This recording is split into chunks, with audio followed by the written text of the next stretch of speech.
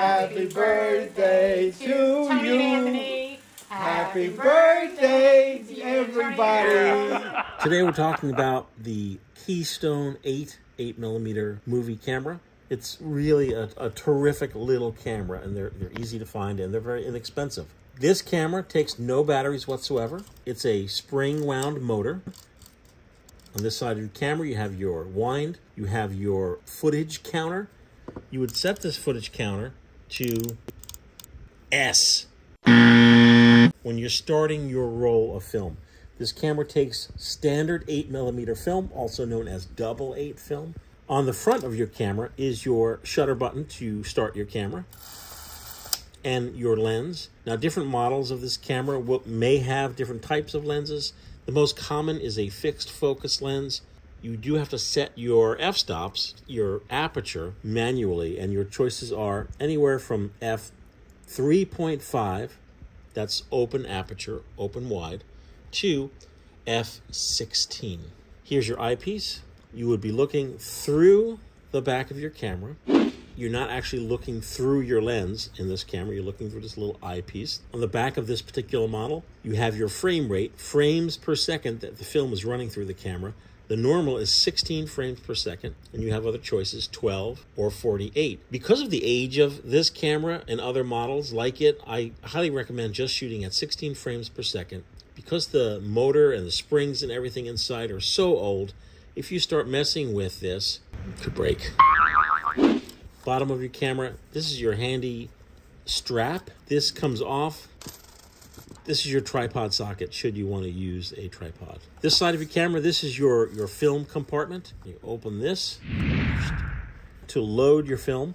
So this film, as I mentioned, takes what's known as double eight film. Double eight film is 16 millimeter in width, and you cannot use standard 16 millimeter film in this camera because the sprocket system is totally different on double eight film. You put this tiny 25 foot roll of film into your camera and you will shoot both sides of it. You will shoot side one, and it'll put a series of images on the left side here.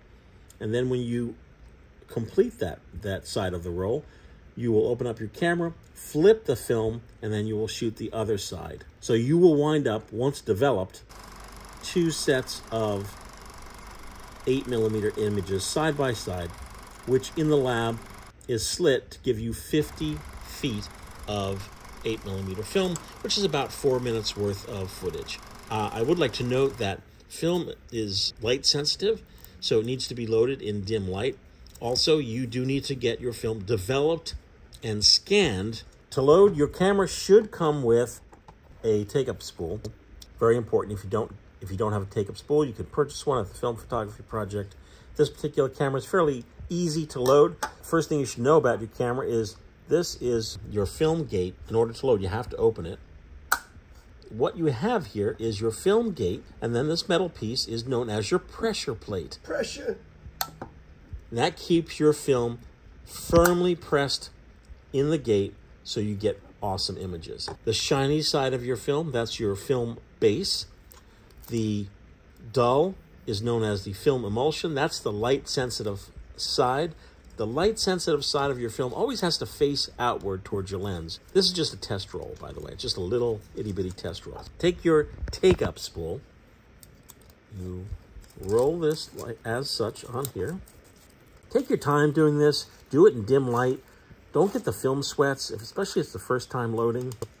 Okay, so here we go. In your camera, you will notice there are guides. There are actual arrows showing you your film path. As a matter of fact, I loaded this camera, shot a roll, and I loaded it without following the arrow guides, and my footage was all like tuk, tuk, tuk. I, I was blaming the camera when in fact I loaded it incorrectly. Your film will go on this post, around this guide, through the gate, follow the arrows, follow the arrows through through this guide, and then onto your take up. So let's do that.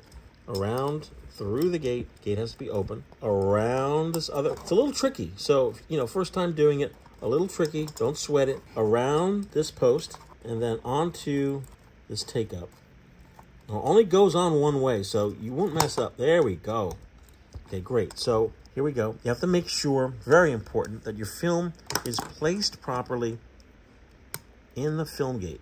Did you hear that snap in? Yes. It snapped in. So I'm going to close the film gate.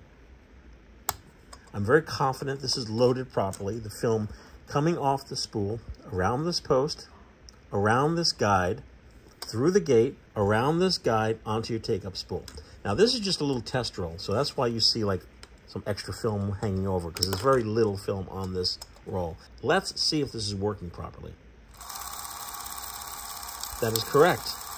Now, this, our film isn't spinning because it's a test roll, and there's only a little bit of film on this particular roll. So don't sweat it. It's rolling right. You will then close up your film camera.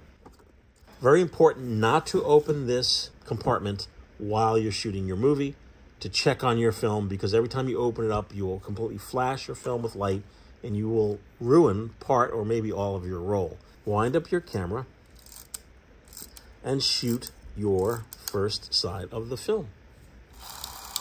You may be asking, how do I set the f-stop on my camera to properly expose your film? I've never followed this guide. This particular camera, this particular model, says Brilliant sun Sunlight f16. That is actually correct. Many cameras have guides that were geared up towards much lower ISO film. So the proper film to shoot in this camera would be ISO 40. That's the lowest current ISO film available from the Film Photography Project. It's available color. It's available in black and white. So if you're shooting in broad daylight, you will need to put your f-stop to f16. What you need to know if using a light meter app or a handheld light meter is that at 16 frames per second, your camera has a set shutter speed of 1 30th of a second. Your film ISO will not change. If it's 40 ISO film you're shooting, it will remain for the entire roll of film. If you don't have a light meter, shoot in sunlight.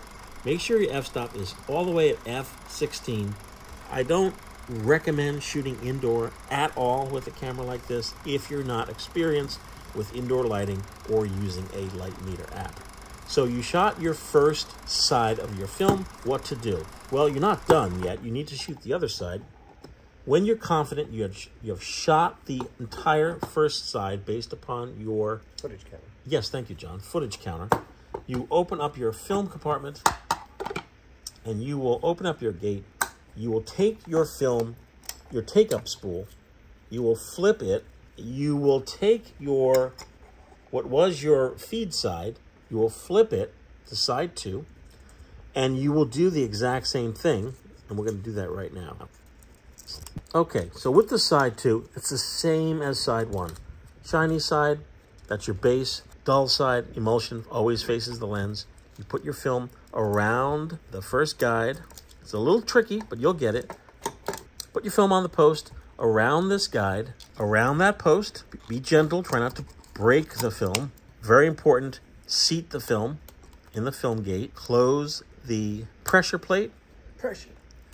And now your side two is ready to go. Close up the film compartment, very important.